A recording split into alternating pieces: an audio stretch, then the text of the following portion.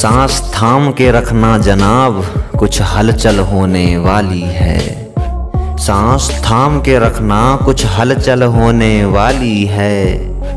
ढोल ताशों की आवाज़ से सावन में, महादेव से मुलाकात होने वाली है। महाकाल से मुलाकात होने वाली है।